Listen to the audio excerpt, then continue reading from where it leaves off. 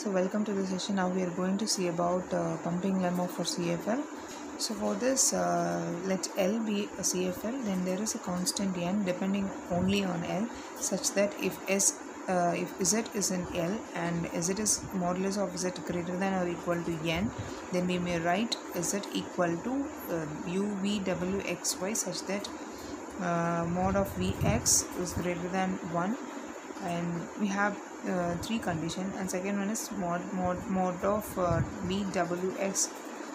less than or equal to n and for all i is greater than 0 u v power i w x power i uh, into y is in l. Uh, so this is the condition uh, we have to prove whether uh, the given language is uh, CFL or not for this we'll have this first uh, example show that the language l equal to uh, a power n b power n uh, c power n uh, such that n is greater than or equal to 0 is not cfl uh, uh, every time whenever we prove this it's not cfl we have to assume uh, particular given language is in cfl so assume the language l is in cfl and my language l equal to a power n b power n c power n and such that n is greater than or equal to 0 and we can write when I uh, when we use a uh, n equal to 1 we have a b c n equal to 2 our language is uh, like that. Okay. So this is my language.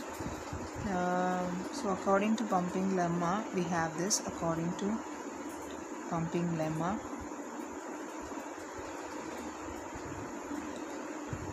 If z is in L and mod of z is greater than or equal to n.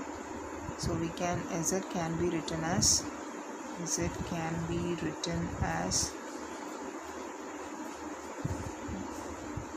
uh, for example uh, if my case if, if suppose if n equal to 1 if use z equal to so when you put n equal to 1 you have you're getting abc so actually uh, according to this pumping lemma on cfl you have to uh, split the language into five parts right? So if you put like this n equal to 1 you are not getting uh, that condition. That's why uh, you have to this this statement provides can't be splitted into five terms right?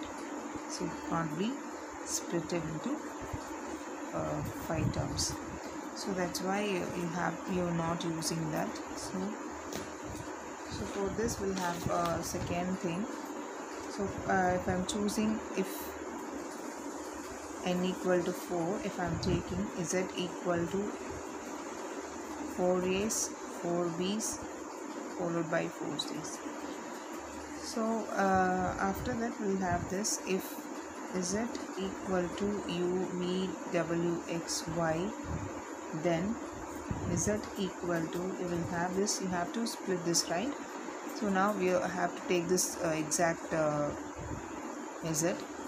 so this is our Is it now? So you have to split into five terms right? So you have you have to split into five parts. So which me which means split into five parts split into five parts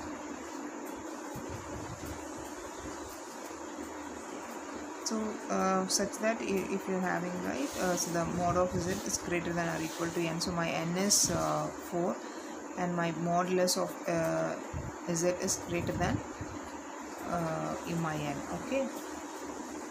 So this is the condition. The first one is mod mod mod of z is greater than or equal to n. My n is 4 actually. So it is that z uh, the length of the z is greater than uh, 4 so this first uh, given condition satisfied. After that we will have this right? You have to split the terms. For example here I am taking u equal to a and v equal to a w equal to bb x equal to b and y equal to b c c c so when you uh, look at this point right? So when you have this uh,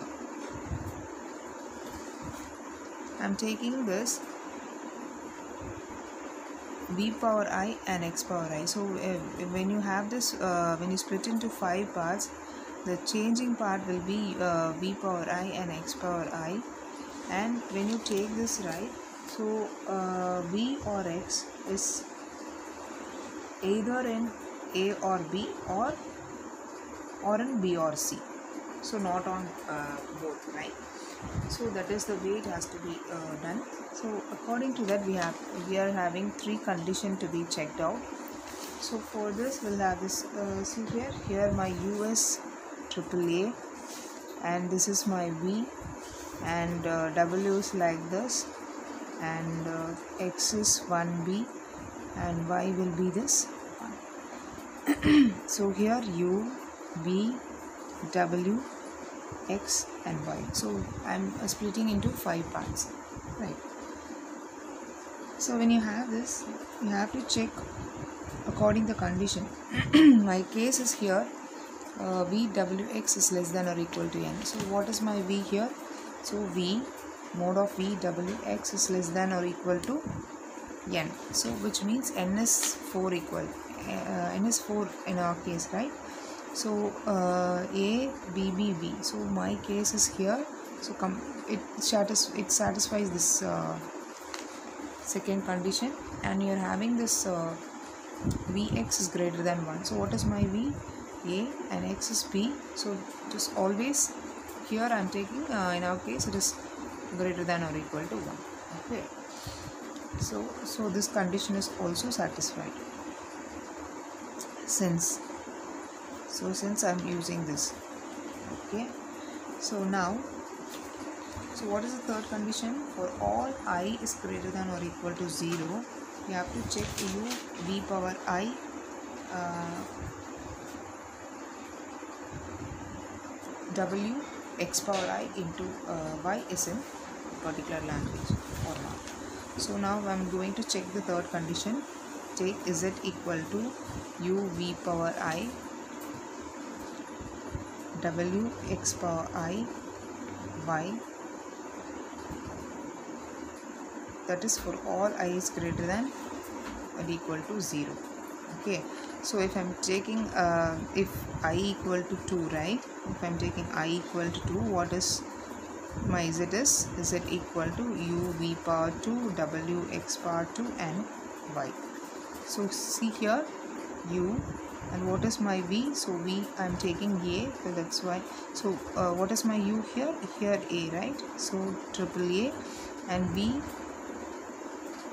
v is a but my uh, i'm taking v uh, v square that is a after the w so w is bb only. You're not taking any uh, variation on that. And you have uh, x x is on uh, x square so that's why you have bb and y is the remaining thing? So b followed by 4c so now check. We'll have this 5a and 5b and 4c that is does not belongs to l. So if I take let i equal to 3 also. Check for this whether it is uh, contain the language or not. So u v power 3 w x power 3 y. For all i is equal to 0 right? So when you take this so you use a triple a and v here a right? So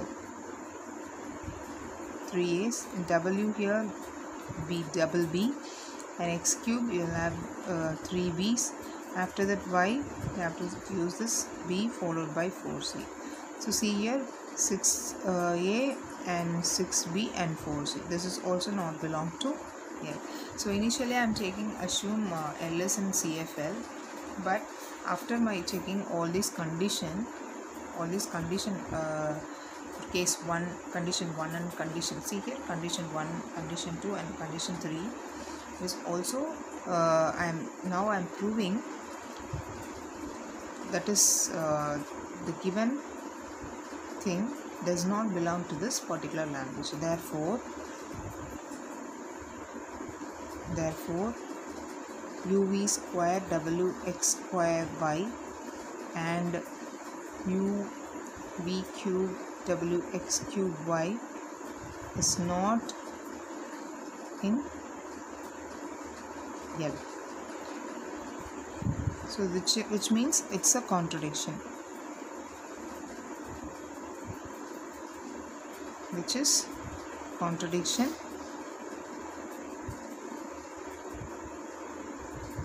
of taking the assumption initially taking the assumption initially